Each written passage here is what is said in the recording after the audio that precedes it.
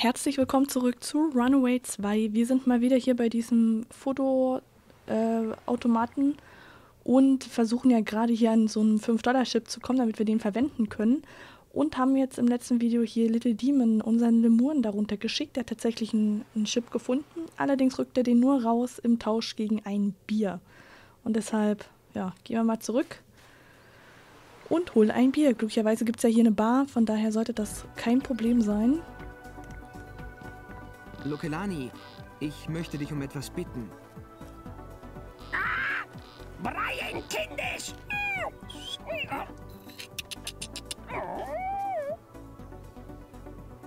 Entschuldige bitte, ich muss die schlechteste Kellnerin der Welt sein. Was willst du trinken, Kaimi? Das habe ich nicht gemeint.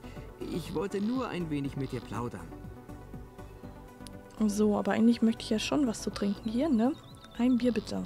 Von der Lauferei in der Sonne habe ich einen riesen Durst bekommen. Gib mir bitte ein Bier. Hier, bitte.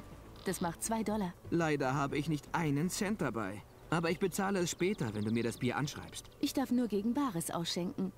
Männern ist nicht zu trauen.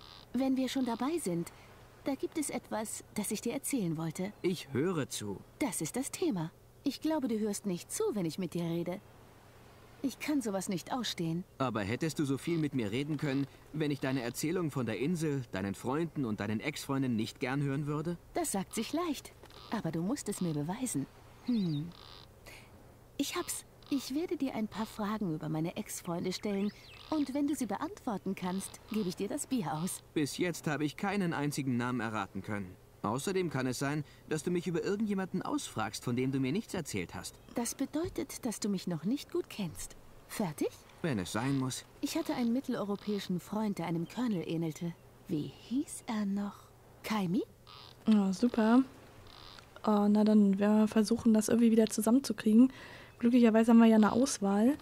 Hamlin, Ivo, Loring, Ludwig, Medwin oder Milo. Also Milo ist das Einzige, was mir jetzt bekannt vorkommt von den ganzen Namen. Von daher werde ich das jetzt einfach mal nehmen. Milo?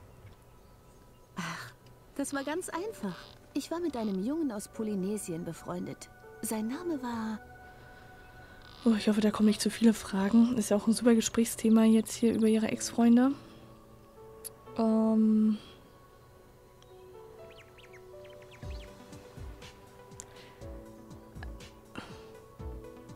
Lupati. Kommt mir bekannt vor, aber da bin ich mir nicht sicher. Da ist irgendwie alles so. Ich habe irgendwie das Gefühl, dass es das sein könnte. Die anderen sagen mir halt gar nichts. Das kommt mir wenigstens irgendwie bekannt vor. Naja, gut, was soll's, ne? Wenn es schief geht, müssen wir halt nochmal ran. Lopati.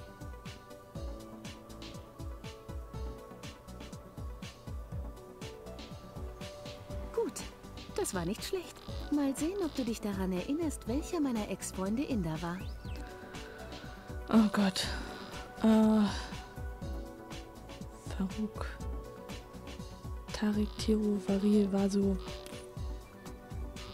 Sujit. Ich glaube, den kann ich ausschließen, das war es nicht. Und die hier unten, die kommen mir jetzt auch nicht so bekannt vor. Ich tendiere eigentlich so zwischen diesen dreien. Welchen nehme ich denn jetzt davon? Aber ich glaube...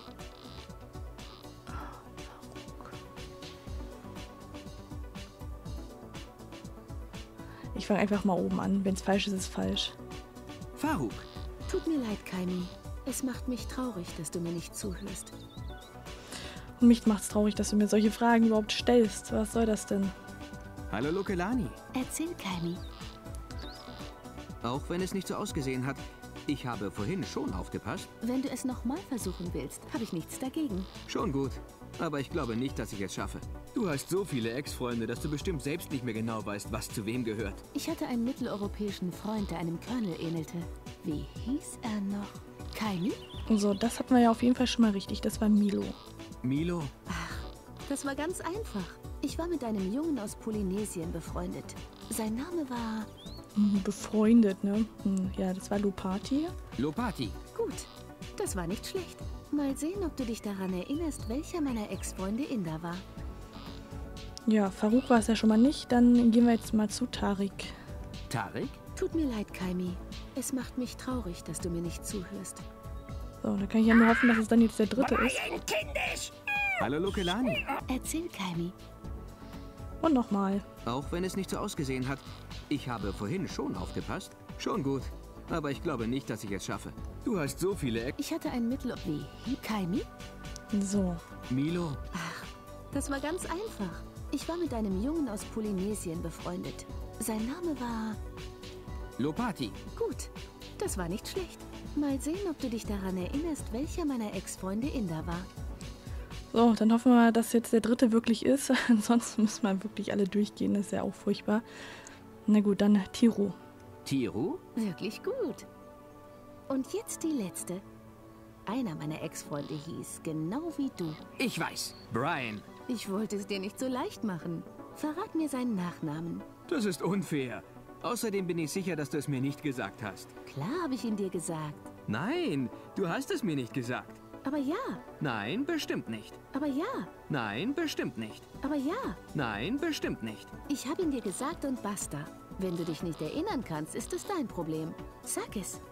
Also ich bin mir ziemlich sicher, dass sie den nicht gesagt hat. Oh Mann. Brian Adams. Hm. Ja, keine Ahnung, ne?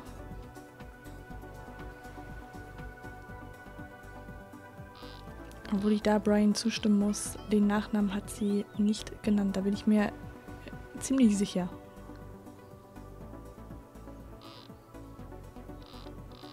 Ja, ne?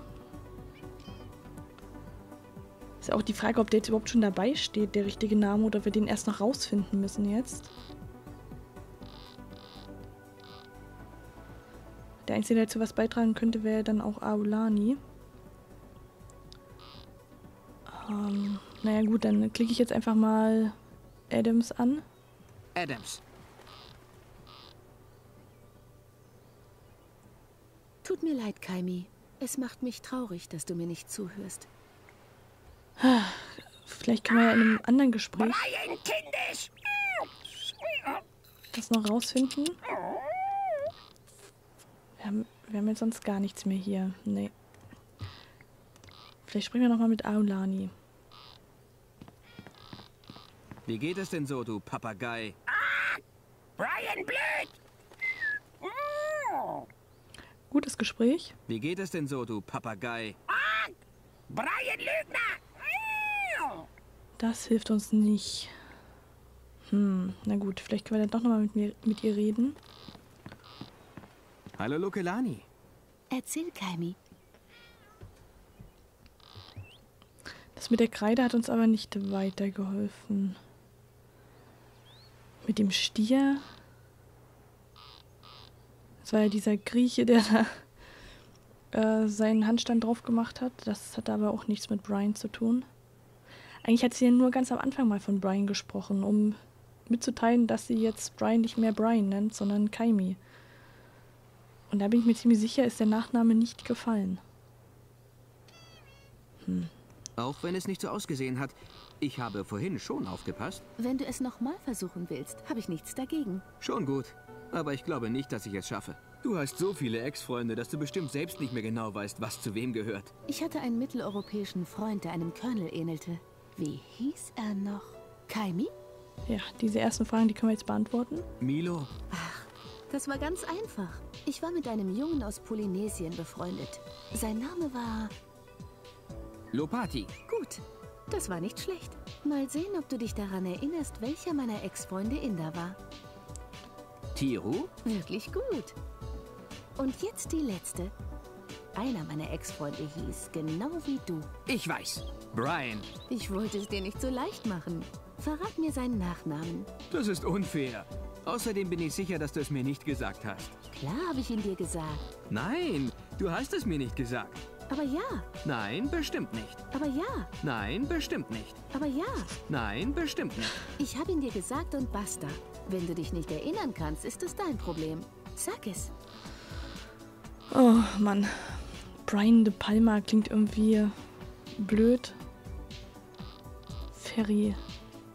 Haskell, Russell, Wilson. Ja, bleibt mir ja eigentlich nichts anderes übrig, als jetzt von oben alle durchzugehen.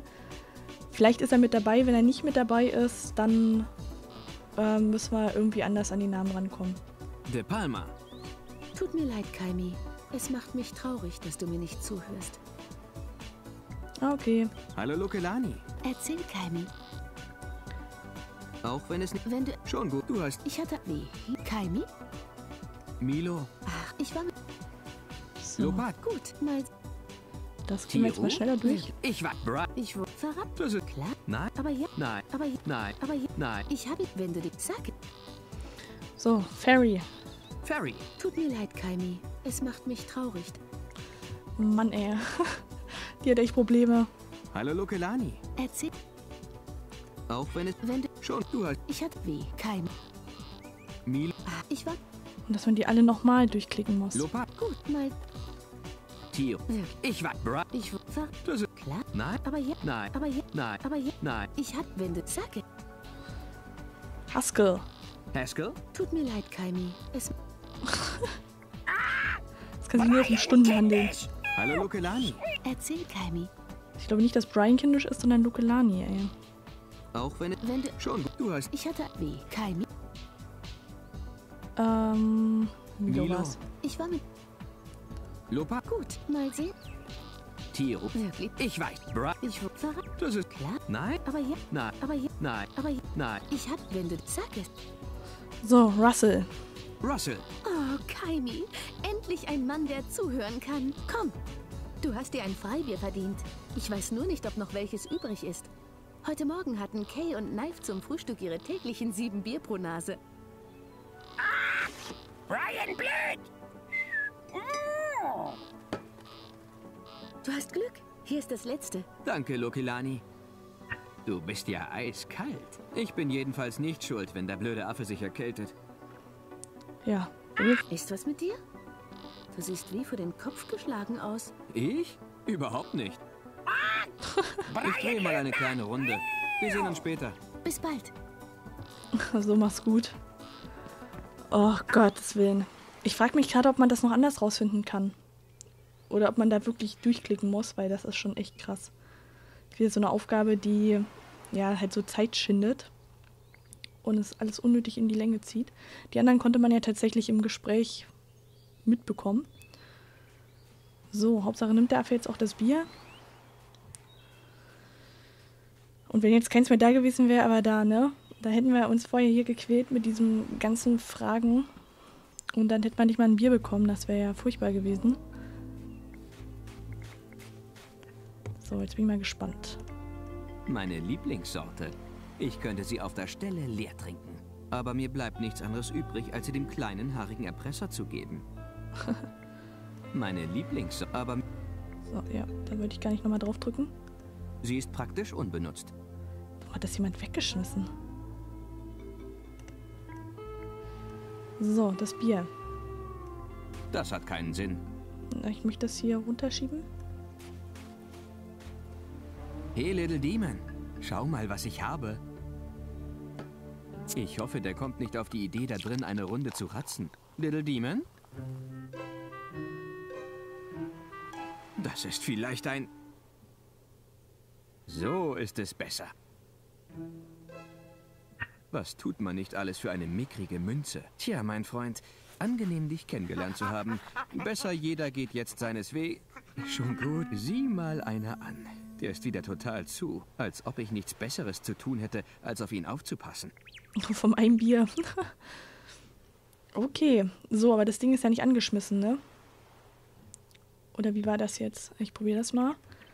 Wenn Brian das jetzt hier alles macht. Ne, müssen wir erst dahinter gehen.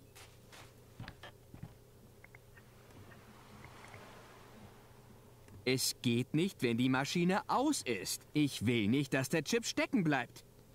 Ist okay, Brian. Ich wollte es ja nur mal testen. Sollen wir dieses Ding anschließen? Hm, nur die Frage, wo? Ja, ja. Äh, vielleicht kann uns Lokolani das beantworten.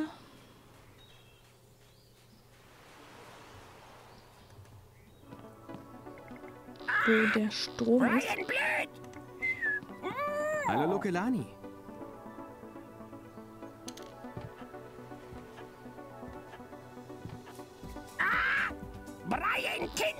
Erzähl, Kylie. Mm. Ja, dann müssen wir nochmal auf den Fotoautomaten sie ansprechen. Aber das haben wir ja eigentlich, sind wir ja das ja alles durchgegangen. Was weißt du über den Fotoautomaten hier in der Nähe? Naja, das gehört zum Touristennap, auf den mein Chef bestand. Den Chip haben wir ja jetzt. Und was ist daran nicht in Ordnung? Nein, tatsächlich funktioniert er einwandfrei. Wahrscheinlich ist er nur nicht an den Strom angeschlossen. Wo bekomme ich Chips für den Automaten? Normalerweise werden sie im Laden verkauft, aber da er geschlossen wurde... Tja, wenn du einen richtig großen Hebel hättest, könntest du die Plattform anheben, auf der der Fotoautomat steht. Mehr als ein Tourist hat dort sein Geld verloren, weil die Münzen in die Spalten zwischen den Brettern fallen. Und wenn mein knausriger Chef sieht, dass die Chips sich stapeln, wirft er alle Kunden raus und holt sie sich. Ja, das hat uns jetzt nicht so viel gebracht. Ich drehe mal eine kleine Runde. Wir sehen uns später. Bis bald. Da kommen wir so jetzt erstmal nicht weiter. Aber vielleicht können wir ja jetzt ähm, nochmal hier zur Landstraße gehen, weil hier gibt es ja jetzt aktuell erstmal nichts von zu. Wo wir haben ja hier noch das Kabel. Das hatte sich ja da irgendwie verklemmt. Gehen wir da nochmal hin. Würde ich gerne nochmal gucken.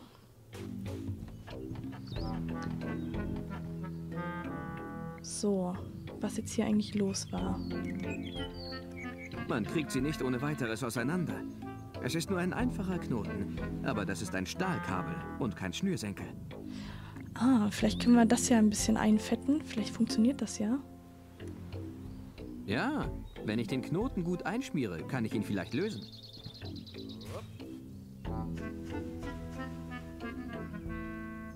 Ja, jetzt ist es entknotet. Nach der Mühe, die ich mit dem Entknoten hatte, lasse ich es nicht einfach liegen. Das möchte ich hoffen. Sehr gut. Dann war das jetzt schon mal. Das ist doch gar nicht mal so schlecht. Und die Frage, wofür wir das jetzt gebrauchen können. Es scheint stabil genug zu sein. Ja, für was, ne? Armes Viech. Er hat schon wieder einen Kater. Langsam muss ihm doch der Kopf platzen. So, dann haben wir den Chip und von der Butter ist auch noch was übrig. Sie ist praktisch unbenutzt. Sehr gut. Da haben wir die ja auch noch, falls wir die noch für was anderes brauchen. Ähm, ist nur die Frage, wofür wir jetzt das Stahlkabel benutzen können.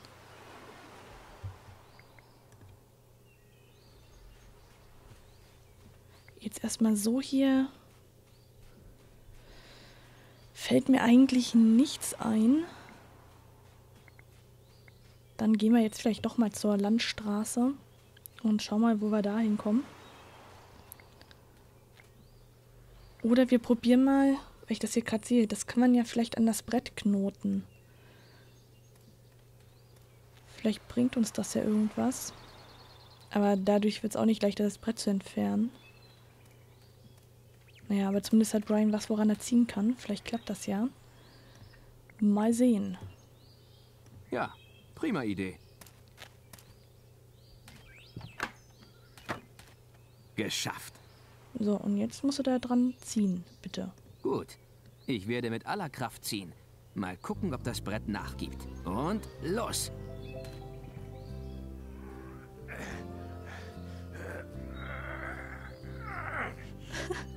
Bah. Ich fürchte, um dieses Brett kaputt zu kriegen, reicht meine Kraft nicht. Vielleicht können wir ja hier unseren Soldaten da mal fragen. Vielleicht kann der ja da dran ziehen. Mal gucken, ob wir das vielleicht hinbekommen. Das wäre ja noch eine Möglichkeit. Der ist vielleicht ein bisschen kräftiger als Brian. Mal sehen. Ja, ansonsten ähm, hatte uns ja Lukelani noch erzählt, wo ihre Freunde sich aufhalten. Dann könnten wir ja die erstmal aufsuchen. Soldat O'Connor?